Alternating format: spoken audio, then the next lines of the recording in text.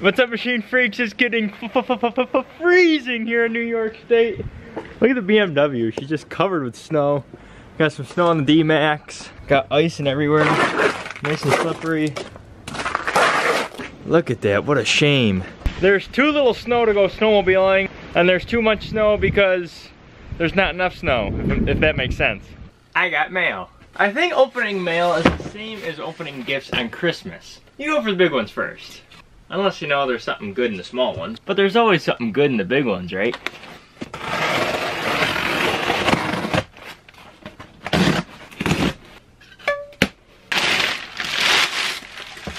This thing's heavy. Another light bar. This will be my third light bar. The first one was on the Duramax, the second one was on the Grizzly Auxbeam. It's finally getting cold enough. I'm leaving in the Duramax in a little bit. I want to plug it in. For you guys that don't know what that means, I'm plugging it in so the coolant heats up, which makes my engine hotter or warmer. There's no way it's gonna get hot, but it's gonna get warm.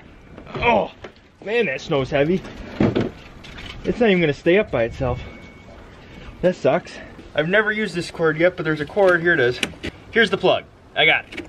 That's a good like 50 pounds on there. I need to grab an extension cord so I can plug that thing in because I am leaving soon. We're going up to Kyle S's and we're gonna go put a light bar on Devin's machine. He said a side by side, but things could change. We'll find out, but we'll definitely find out once we get up there.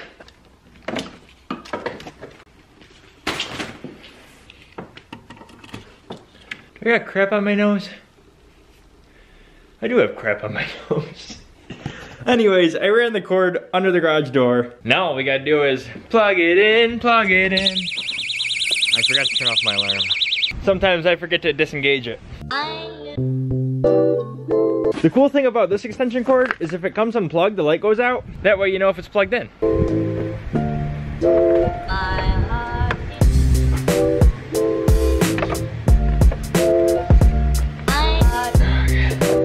I got it plugged in.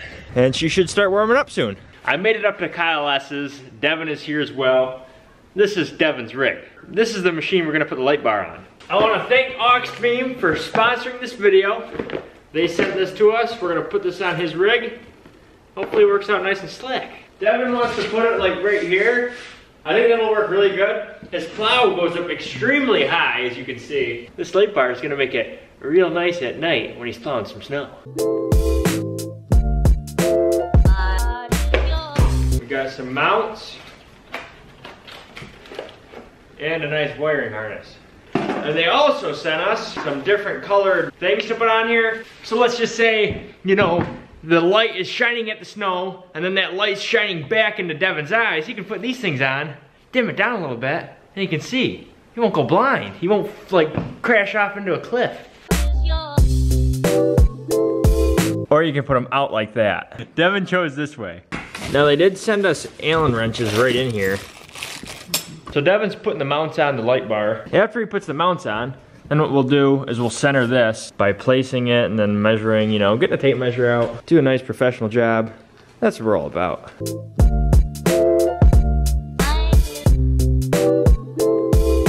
We got the mounts on this thing. Now what we have to do is bust out the tape measure, center this thing, drill our holes. Let's say a little prayer, guys. God, please allow us to drill this hole where it needs to be. Amen. that was quick.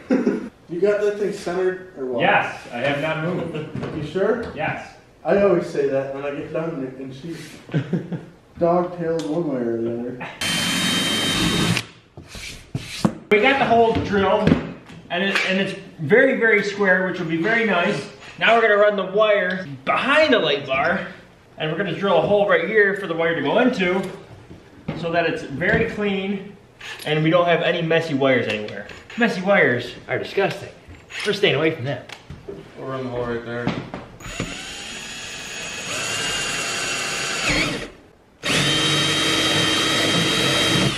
That's solid. No silicone needed on that. baby. Exactly. Yeah, we're making things so tight that we might not even need silicone. So like I mentioned before, the way we drilled these holes to hold the actual mounts down, they're slightly smaller than the bolt, which gives extra strength. It'll thread right into the plastic, which will add extra strength. And keep it watertight.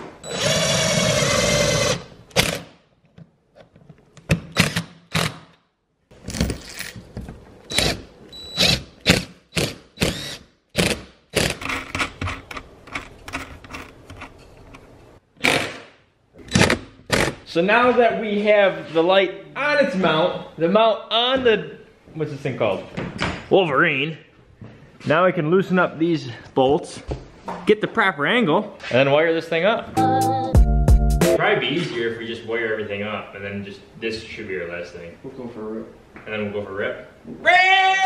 We're working on a 2016 Yamaha Wolverine. This thing's brand new, which is very nice. You're not dealing with mud or dirt or grime or anything like that. So before we finalize any of the wiring, we just want to make sure we know how this wiring harness works.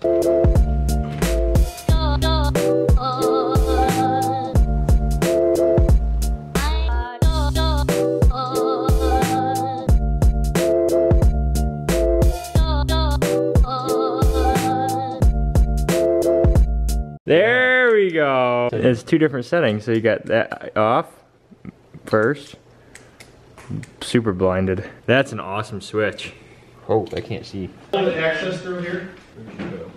We got the wire running under this fender here, up through the side, nice and tight to the roll cage, right along the support, and up into the hole. Very clean, very clean. So far it's going beautifully. Now our next concern is where we run this. Do we have any plans, you guys?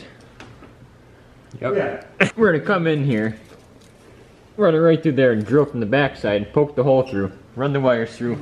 We'll be golden. Poke through right there, run the switch right there. So for easy accessibility. Makes sense, right What next to the steering talking wheel. Now this machine is different from a lot of four-wheelers. Like four-wheelers don't have these kind of battery hookups. Usually you have screws that actually go down like into the battery and you don't have that much clearance. So here on a four-wheeler battery, you see how the bolt goes down into the battery? And then you don't have very much bolt clearance when you put new stuff in there. Here you have all this clearance to deal with.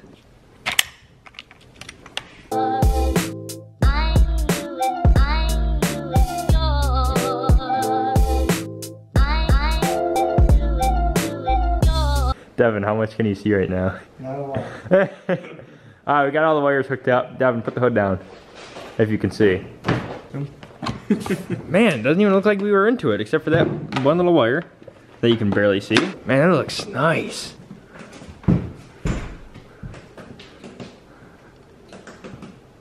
Perfect position. What do you think, Devin? You like it there? I like it. Alright, let's tighten her up. So we're about to go on a rip. These are for the outside ones, and then Devin's opening the inner ones too. We're gonna just see the difference.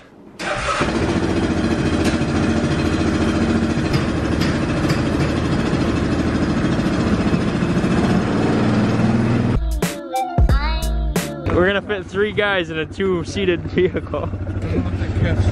Are you gonna be good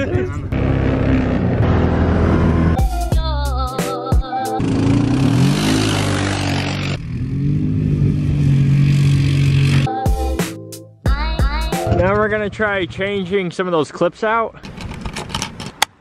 It does change it up. Okay, now let's do the outside ones. Oh yeah.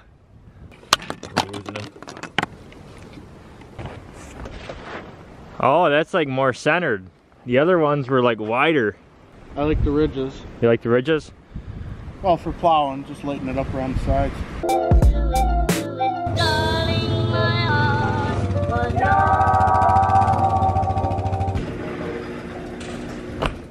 Well, it was fun installing the aux beam light bar. If you guys are interested in a light bar like this, the link will be in the description. Devin's gonna play around with the lenses. He's gonna experiment with them, see which ones work best in the snow, and then he's gonna experiment which ones work better when he's not plowing. It, it came out extremely clean, and we drilled everything so tight that we don't even need silicone. Like, all the holes are nice and tight. He shouldn't have any leaks in his roof. I wanna thank Auxbeam for sponsoring this video. Until tomorrow, 3D Machines out. Thank